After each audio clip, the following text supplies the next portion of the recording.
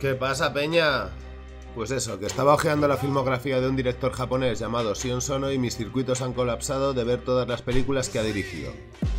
Entonces se me vino a la cabeza una pregunta, ¿cuáles han sido los directores que más películas han hecho? Y rápidamente me puse a investigar para saber más sobre esto.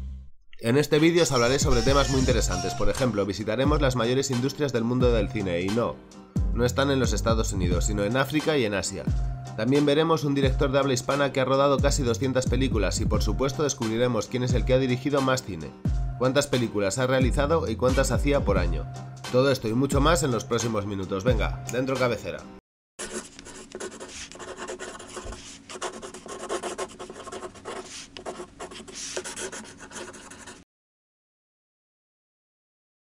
Realizaremos la lista de menos a más, así que estad pendientes del final para saber quién es el número uno. Para empezar, con esta lista contamos con un director que ha rodado 72 películas, pero que puede darle más caña porque sigue en activo. Priya Darsan tiene 61 años y comenzó a rodar con 27. Estando a tope ha sido capaz de hacer 6 películas en un año, hazaña que consigue en dos ocasiones, en 1986 y en 1988. De su filmografía no sé muy bien qué destacaros. Se trata del típico director de Bollywood. Sí, con B y no con H. La industria cinematográfica india recibe este nombre tomando la letra B de Bombay, lugar donde se producen más películas que en todo Hollywood. Para que os hagáis una idea, el año pasado produjeron en Bollywood más de 2.000 películas frente a las 800 que se realizaron en los Estados Unidos. Aún así, haciendo el triple de cine no recaudan ni una treintaava parte de los americanos. Esto se debe al tipo de cine que hacen en la India, principalmente musicales y dramas románticos muy poco digeribles. Siempre hay excepciones, pero Bollywood es una recomierda para vuestros peores enemigos. El siguiente es Chico Ejiro, que comenzó su andadura en el cine en 1994, cuando rueda Aille Male.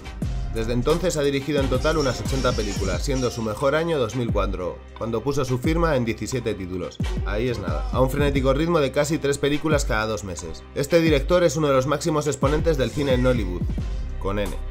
No, no, no, no. No os estoy tomando el pelo, al igual que como ocurre en la India, en Nigeria se produce cine como si no hubiese mañana, y por eso se ha ganado el sobrenombre de Nollywood. El cine en Nollywood se caracteriza por ser películas de presupuesto ínfimo, grabadas con cámaras digitales y producidas en formato DVD, y también vendidas directamente a los consumidores por 2 o 3 dólares. La clave de su éxito es que los nigerianos están cansados de personajes y situaciones que no los identifican, así que buscan ver un cine hecho por nigerianos sobre nigerianos. En total, en Nigeria a lo largo del año se hacen unas 1500 películas anuales. Continuamos con un director japonés que aun haciendo pelis a cascoporro es capaz de conseguir que su cine sea reconocido e incluso gana premios. Os hablo de Takashi Miike, que con 106 títulos se mete de lleno en esta lista, y seguro que acaba en mejores puestos porque está en activo actualmente. Arrancó su carrera en 1991 con Red Hunter Prelude to Murder, y desde entonces no ha dejado de hacer cine. Sus películas tienen un toque de extrema violencia, de gore y en líneas generales son incluso difíciles de digerir. A la cabeza de este tipo de films tenemos Ichi the Killer, una muy muy muy turbia historia de venganza, de la que no os quiero adelantar nada, pero espero que estas imágenes os llamen para verla. Mike nació en 1960 y tiene actualmente 58 años, es decir, aún tiene tiempo para delitarnos con más J-Horror y bizarradas. Por cierto, sus años más fructíferos fueron en el 2000 y en el 2001, en ambos años realizó 8 películas.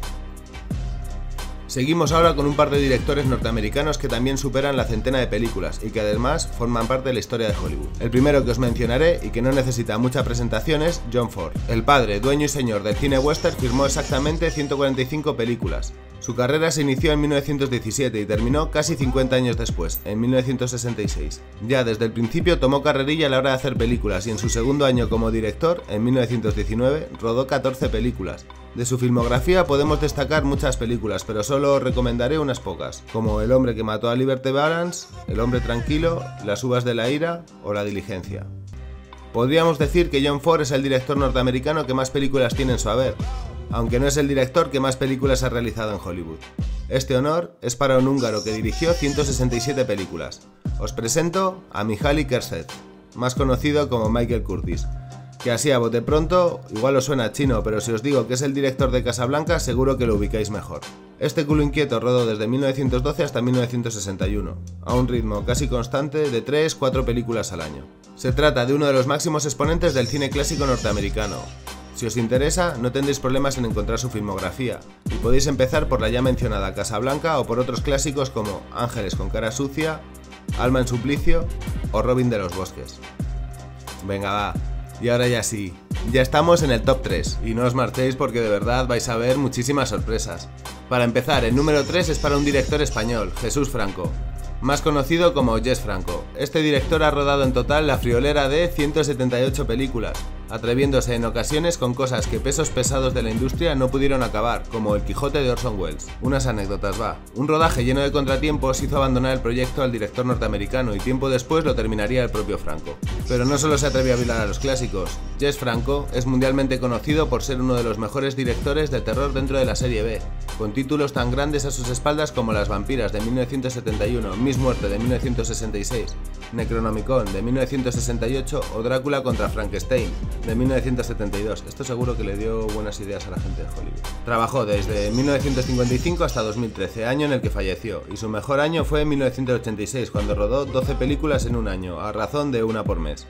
Satoru Kobayashi ocupa el segundo puesto con 193 películas y en 1994 y en 1995 rodó 24 películas. Y al igual que ocurre con Franco, pues sale a unas 12 por año. Este director se centró en hacer cine pseudoerótico y películas de explotación que trataban el tema de la prostitución.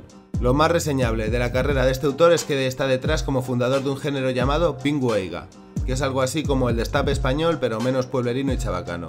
Su película Nikunu Ibicha o Flesh Market de 1962 causó un gran revuelo en Japón. Os cuento, la policía confiscó la cinta y solo la mediación del productor que se comprometió a volver a montar el metraje y eliminar los momentos obscenos logró que los negativos no fuesen quemados y que la película se estrenase un año después sin problemas. Como anécdota, te puedo contar que si andas por Tokio puedes ir al National Film Center y ver allí los 21 minutos que fueron censurados. De otra manera es imposible.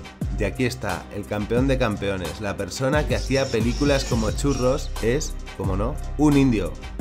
Andor Basi, con la friolera de 558 películas. Y aquí es donde os desinfláis. Y me desinflé yo.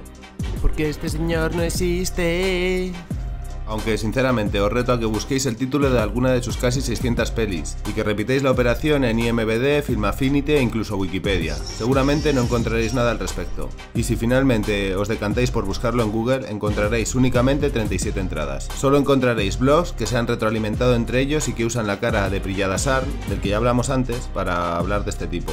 Por otro lado, solo hay entradas escritas en español. En definitiva, hasta que alguien me demuestre lo contrario y algo de información sobre este personaje, para mí esto es una Space Milonga.